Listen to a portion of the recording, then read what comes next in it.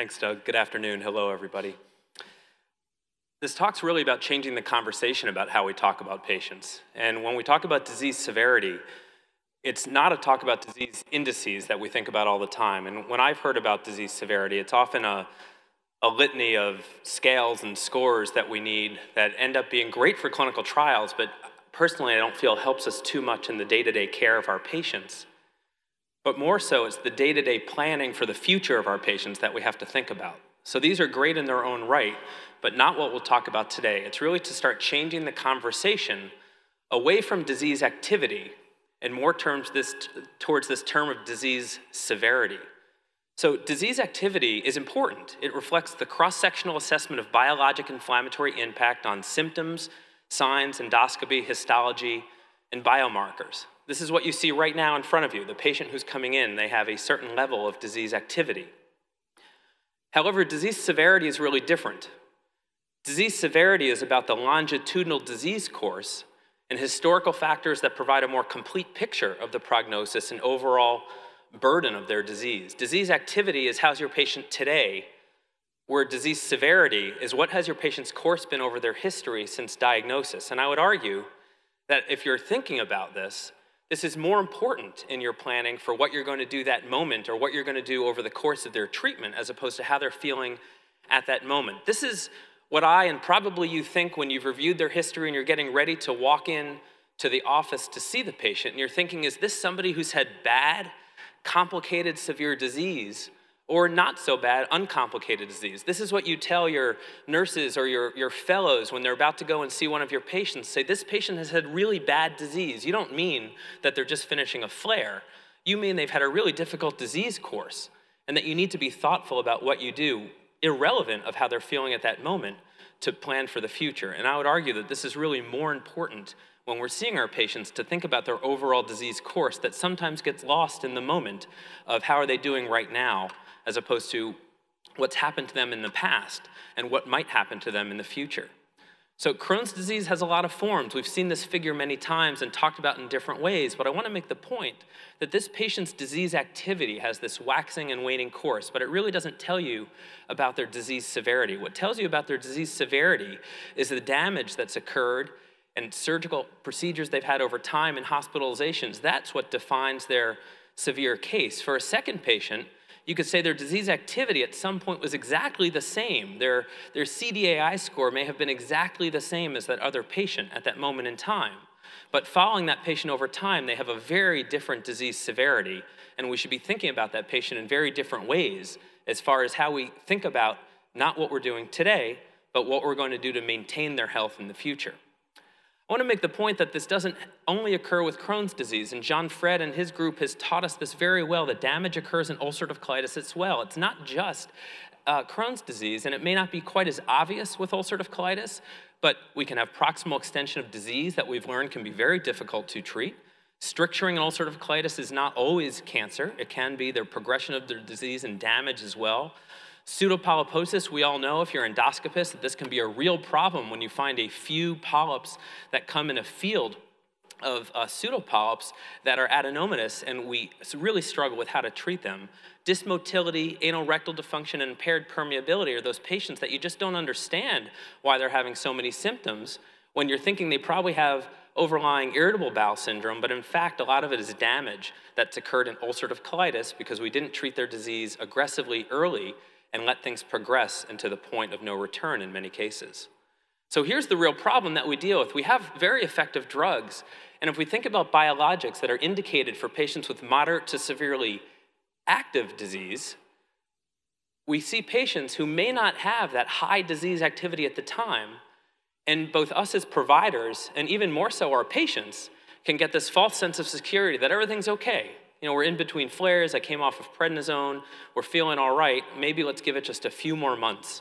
Or on that second or third course of prednisone, we'll move on. But this false sense of security we deal with, with thinking about their disease activity at a moment in time, really can mislead us in what we need to do.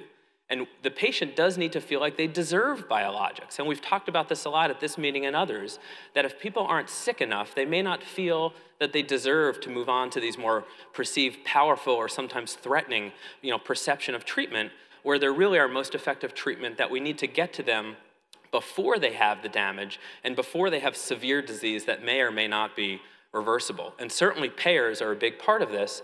When we're told we can only use these treatments for patients with moderate to severely active disease that doesn't take into account their history and difficult course they may have had or will have in the future if we don't treat them appropriately because they don't have a high enough disease activity or enough symptoms to warrant using those treatments at that given time.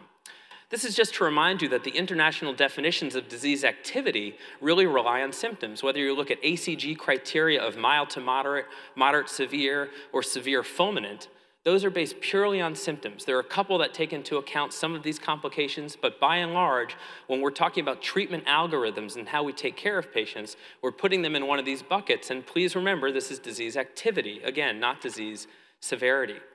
So we've started to think about disease severity over the past couple of years and try to understand how can we really define this and there are different domains that we have to think about.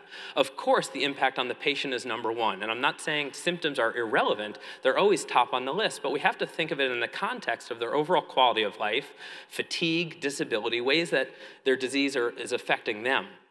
We need to take into account their complicated disease course. What's happened over time? Have they already had bowel damage? Have they have intestinal resections, perianal disease? What's their frequency of flares? And how about extraintestinal manifestations that can really play on a patient's quality of life and overall disease severity? And then, of course, the inflammatory burden we can't think about, the objective markers that we have, not just at that time, but over time. What has been the full extent of their disease? What does their CRP do? What do their mucosal lesions look like? Even if they're not feeling sick, need to drive how we're thinking about these patients. And although there are correlations and interactions between these domains, they don't necessarily need to be proportionate. There's a unique mix of what every patient brings from these domains to really help define their overall disease severity. And we need to remember that both Crohn's disease and ulcerative colitis aren't just progressive disorders, but their disease severity will also progress if we let their disease get out of control and don't prevent those complications from occurring, as opposed to just trying to treat those complications after they occur.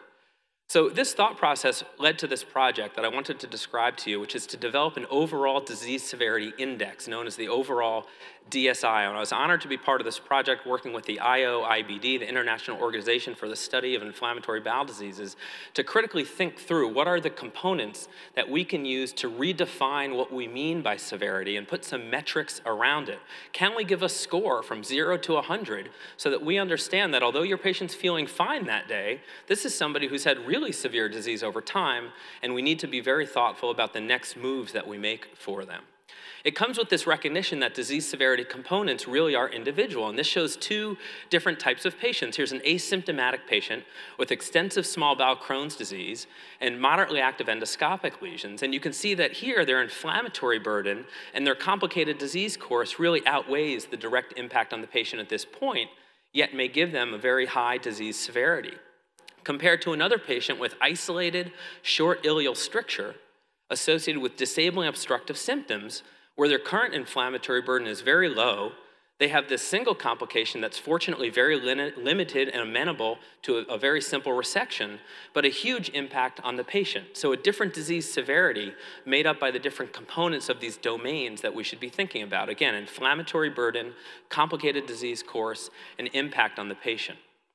So, in thinking through this project, we had to come up with some attributes that need to be considered for what are the things that go into causing more or less severe disease. Here's the list for Crohn's disease. None of them are a surprise mucosal lesions, fistulas, prior surgeries, things related to damage, daily symptoms, experience with biologics, steroids, and impact on their daily activities. We did the same for ulcerative colitis, and you can see a similar list although it, it doesn't take into account all the damage that occurs or the obvious damage that occurs with Crohn's disease. The trouble here is that doesn't help you and it doesn't help your patient. It doesn't help us when you're sitting in the office just check off that your patient has these things. We need to weight or give certain things more credit than others so that we can really be thoughtful as far as how can we consistently score patients and understand how to follow them over time.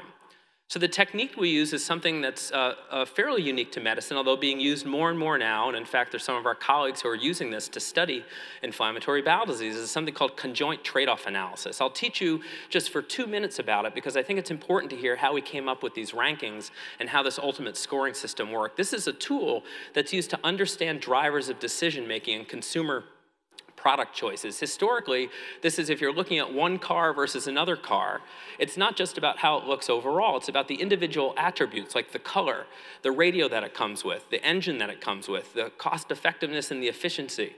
These are things that we think about as different attributes. And when you're looking at one versus another, in your mind, you're weighing what's really more important to you. And that's the tact we took here. It measures decision makers' willingness to trade off certain attributes in favor of others. It's really a choice experiment. You're being given option A or option B, and you're asked to make a decision based on those attributes. And then there's a fancy mathematical formula that calculates these part worth utilities so that you can rank order what you're doing. In addition to shopping for cars, you've all done conjoint trade off analysis, I bet you, at one time or another. This is when you're sitting in the ophthalmologist's office and they're asking you for A versus B and then you pick B and you're comparing it to C. And what you're doing is you're picking attributes of that moment of that of your visual experience to help you find the very best combination of attributes to find what your prescription is. So what we wanted to do is use this technique that can be used in medicine to find the attributes from that list from Crohn's disease and ulcerative colitis that really drive disease severity. So the question to the panel was which of these attributes in which scenarios of patients really drive you to think that a patient's more severe than another? This is an example of a conjoint trade-off analysis for a patient with Crohn's disease. You don't need to look through every line, but the idea is things that are in gray stay the same, and then other attributes are different. So you're deciding, is it patient A or patient B that has more severe disease? And then mathematically, when you do this enough times, there's a computer program that has an algorithm to figure this out. It identifies for that individual viewer which are the attributes that you're consistently using to make decisions about disease severity and which ones do you kind of ignore because they're less important. And when you run a series of these, there becomes a clear rank order amongst viewers of what's been used. So here we had about 20 people from the IOIBD look at this conjoint trade-off analysis, and we looked at all the results to rank order the attributes of disease for Crohn's and ulcerative colitis to see how they line up. It was interesting because it was different for the diseases. So for Crohn's disease, you can see that the things that were really driving disease severity, when asked what are the things that make this patient more severe, it was bowel damage. It was less about day to day symptoms that we actually think about and co collect, albeit importantly, the patient reported outcomes. But the overall disease severity was really more about the damage that Crohn's disease occurs as opposed to their day to day experience with their disease. And ulcerative colitis was different. Ulcerative colitis was much more based on their symptoms and their experience and hospitalizations and medication utilization that drive that patient having more severe disease as opposed to the patient with Crohn's disease, again, that's driven more by damage. So you get this rank order, but still we need to find something that we can use to help score these patients. And you could find this publication that was just recently online at Gut, if you're interested in how the score works, to see that the things up top that drive this, again, for Crohn's disease are disease damage, and then for ulcerative colitis, the day-to-day experience in the disease. If you use this as a checklist, you get a score from 0 to 100, 100 being the most severe patient, where 0 is a, a, patient with very uncomplicated or less severe disease. And this is a tool that we can start to use and think about and validate and how it really works in identifying those patients and driving our decisions for treatment. Again, it can't just be about symptoms that they have that day. It really has to be about their whole experience, but we need some way to formalize that to drive these decisions as opposed to arbitrarily thinking this patient kind of has bad disease or doesn't have bad disease.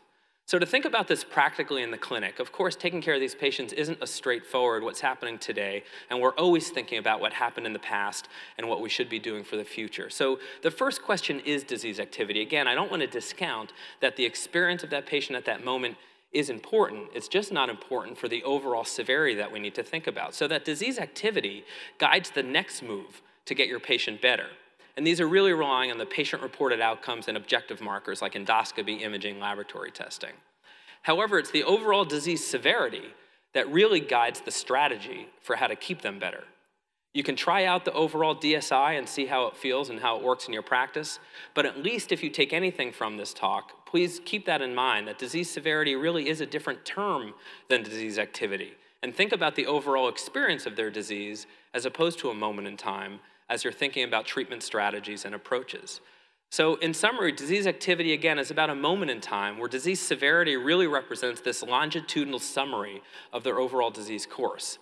Crohn's disease severity is associated more with intestinal damage in contrast to UC disease severity, which is more dependent on symptoms and impact on daily life.